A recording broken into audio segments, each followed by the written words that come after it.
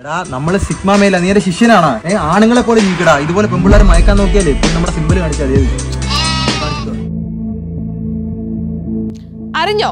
Alpha വീണു. പുതിയ നാടകം തട്ടിൽ കയറി കഴിഞ്ഞു.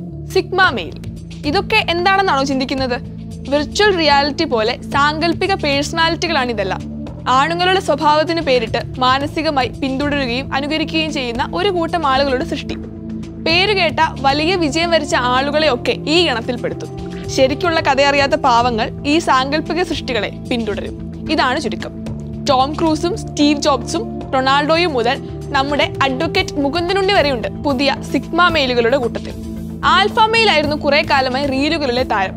നേതൃപാഠവുമുള്ള സമൂഹത്തെ നയിക്കുന്നവരാണത്രേ ഇക്കൂട്ടർ എന്നാൽ ആൽഫയെ പിന്നിലാക്കി ഇതാ സിഗ്മ കളം പിടിച്ചിരിക്കുന്നു. എന്നിട്ട് മറ്റേ ഈ സിമ്പിൾ കാണിച്ചാൽ മതി. ചോദിച്ച സിഗ്മ എന്ന് പറഞ്ഞാൽ മതി. സാമൂഹ്യ ഘടനയുടെ പുറത്ത് ജീവിക്കുന്ന ആരുടെയും സഹായം ആവശ്യമില്ലാത്തവരാണത്രേ സിഗ്മകൾ. അവർ സ്വയം വിളിക്കുന്ന ഒരു പേരുണ്ട് ലോൺ വൂൾഫ് ആരെയും നോക്കാതെ ഫുള്ള് മാസ് കാണിക്കുന്നവരാണ് സിഗ്മകൾ. അവർക്ക് ഏറ്റവും അലർജി പെണ്ണുങ്ങളാണ്. മസിൽ പൂത്ത പണം കോട്ട് സ്യൂട്ട് ഒടുക്കത്തെ ബുദ്ധി ഇതൊക്കെ സിഗ്മകളുടെ അടിസ്ഥാന അടയാളമാണെന്ന് പറയാം. പിന്നെ അന്തമില്ലാത്ത പുച്ഛവും. ചുരുക്കത്തിൽ സ്ത്രീവിരുദ്ധതയുടെ ഒരു ഡേഞ്ചറസ് വെർഷൻ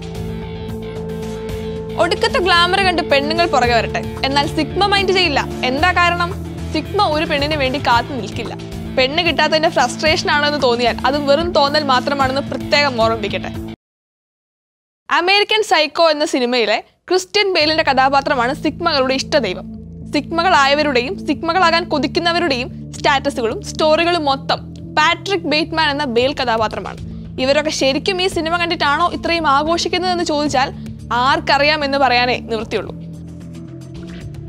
ഇതിനു മുൻപ് റീൽസ് വാണിരുന്ന ആൽഫ മെയിലിനെ സിഗ്മകൾ കുറെ കൂടി താഴെയാണ് പ്രതിഷ്ഠിക്കുന്നത്. ജോക്കർ ആയിരുന്നു അവരുടെ ദൈവം. ജോക്കർ ഒരു ഭ്രാന്തനായിരുന്നെന്നും ഗോതം സിറ്റിയിലെ ഒരു ഭ്രാന്താശുപത്രിയിൽ ചികിത്സയിലായിരുന്നെന്നും അവർ അറിഞ്ഞിരുന്നോ ആവും. പെണ്ണുങ്ങൾ അവരുടെ കണ്ണിൽ വെറും ബീറ്റ. അവർക്ക് പെണ്ണുങ്ങൾ അലർജി ഒന്നുമല്ല മാസ് ആക്ഷൻ സീനുകളിൽ പെണ്ണുങ്ങളില്ലെങ്കിൽ ആര് കൈയടിക്കും?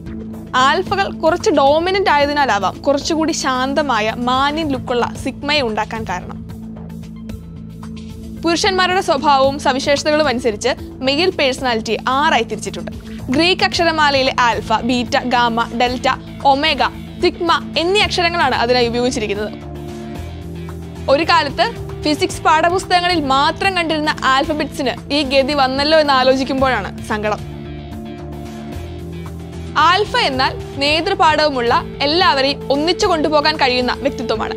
ബീറ്റ ആത്മവിശ്വാസമുള്ള കരിസ്മാറ്റിക് ആയ ആളുകളാണ്. അവർക്ക് നേതൃപാഠവും കുറവായിരിക്കും.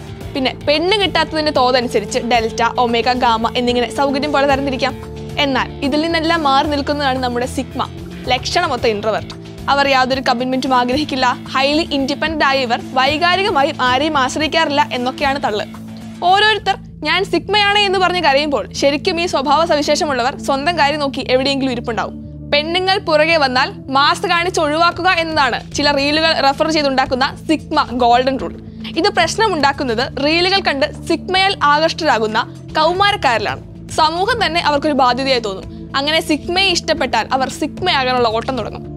സത്യത്തിൽ പുരുഷന്മാരുടെ വൈകാരികമായ ഇൻസെക്യൂരിറ്റി ചൂഷണം ചെയ്താണ് ഇത്തരം വ്യക്തിത്വങ്ങളും വേർതിരിവുകളും സൃഷ്ടിക്കുന്നത്. മറ്റാണുങ്ങൾ തന്നെ എങ്ങനെ കാണുന്നു? പെണ്ണുങ്ങൾക്ക് തന്നെ ഇഷ്ടപ്പെടുമോ തുടങ്ങി കൗമാരത്തിൽ തന്നെ ഉണ്ടാകുന്ന ഫാന്റസികളുടെ ബാക്കി. അതിന് സിനിമകൾ ഉൾപ്പെടെ കാരണമാണ്. സ്റ്റീരിയോ ടൈപ്പുകളെ പടച്ചുവിടുന്നതിൽ സിനിമ എക്കാലവും പങ്കുവഹിച്ചിട്ടുണ്ട് ഇനി സിഗ്മ റീലിന്റെ ദൈവത്തെക്കുറിച്ച് കൂടി രണ്ടു വാക്ക് പറയാം. വൈകാരികമായി കൃത്യമായ രീതിയിൽ ആശയവിനിമയം നടത്താൻ കഴിയാതെ വന്ന നിസ്സഹായനായ ഒരു മനുഷ്യനാണ് അമേരിക്കൻ സൈക്കോയിലെ പാട്രിക് ബേറ്റ്മാൻ. ആ അടിച്ചമർത്തപ്പെട്ട വികാര തള്ളിച്ചയാണ് അയാളെ ക്രൂരനാക്കുന്നത്. കോർപ്പറേറ്റ് സംസ്കാരത്തിനെതിരായ ആക്ഷേപഹാസ്യം കൂടിയായിരുന്നു ചിത്രം. ഈ കഥയൊന്നും അറിയാതെ ആട്ടം കാണുന്ന ഒരു കൂട്ടം മനുഷ്യരാണ് സിഗ്മ മേലിന്റെയും അനുബന്ധ സൃഷ്ടികളുടെയും പിന്നാലെ പോകുന്നത്. അപ്പോൾ കാര്യങ്ങൾ ഇവിടെ വരെ എത്തി. ആൽഫയുടെ കാലം കഴിഞ്ഞതുപോലെ സിഗ്മ എന്ന വൻമരവും വീഴും.